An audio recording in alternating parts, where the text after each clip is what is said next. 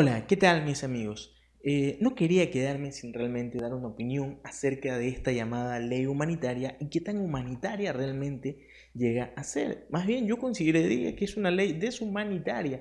Si te das cuenta, los compromisos que estamos teniendo con esta ley en cuanto a lo laboral son de hasta cuatro años de una reducción de la jornada de trabajo y también de los ingresos, porque el sueldo va a menorarse durante este periodo de tiempo para aquellas empresas que se hayan acogido a la ley humanitaria.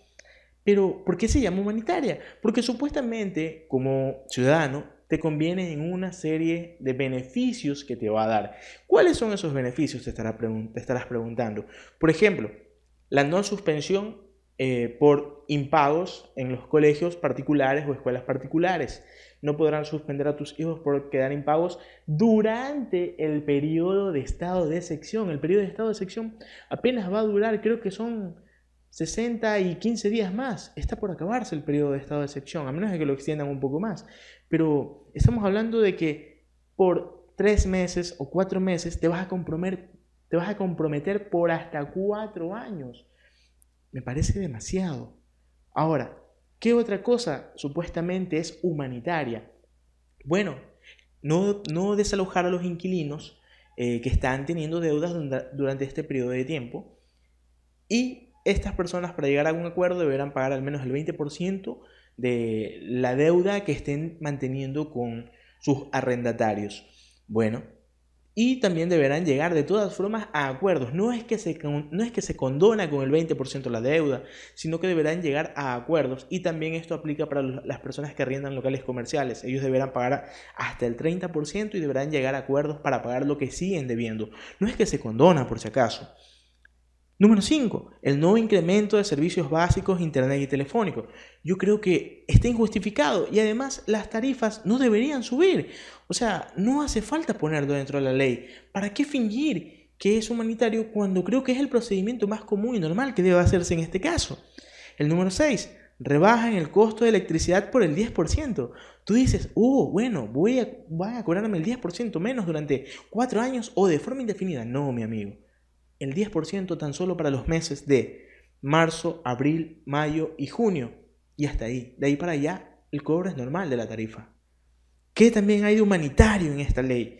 La prohibición de las terminaciones de pólizas no podrá ser por impagos de hasta tres meses consecutivos. Es decir, que si tú no has estado pagando tus pólizas durante tres meses consecutivos, en el cuarto mes ya podrán ser finiquitadas, terminadas, eh, por no estar cumpliendo con tus pagos. Simplemente es un compromiso de esperarte hasta tres meses seguidos.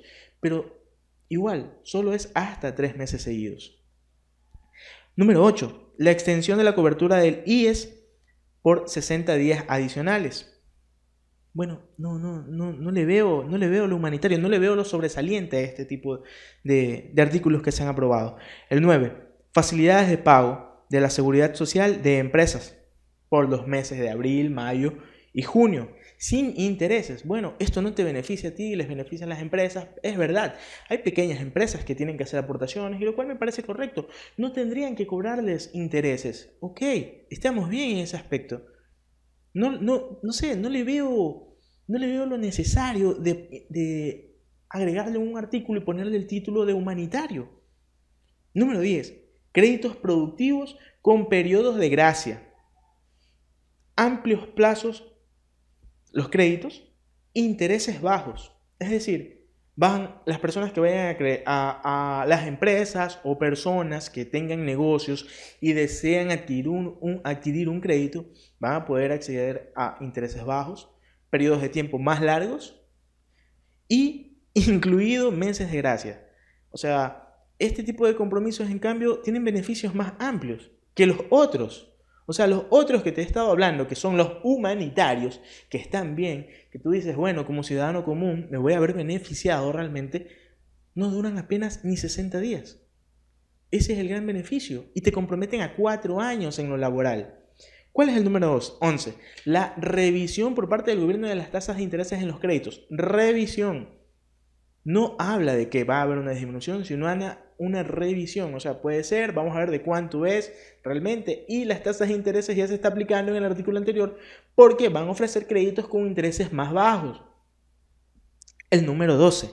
Reprogramar pagos de créditos. No se te condonan deudas. A ti no.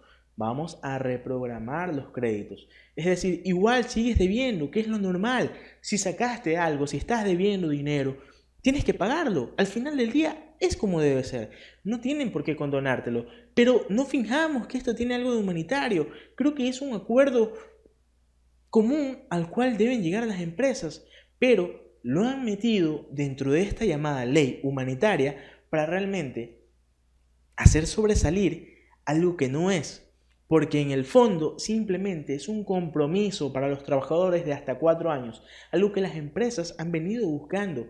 La reducción de la jornada laboral y la reducción del salario básico, porque el salario, porque el salario básico va a pasar de 400 a casi 300, 300 y algo. Estamos hablando de una disminución grande que muchas personas subsisten de este beneficio.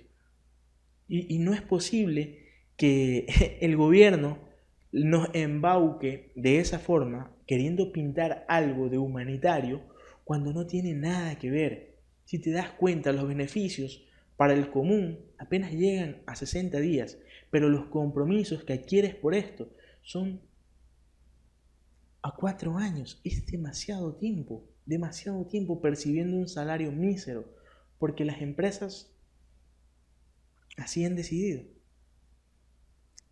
Otra de las cosas que tiene esta llamada ley humanitaria es no cobrarán multas e intereses por la matriculación vehicular para aquellos vehículos que ya no hayan sido matriculados durante este periodo de tiempo que estuvo la cuarentena.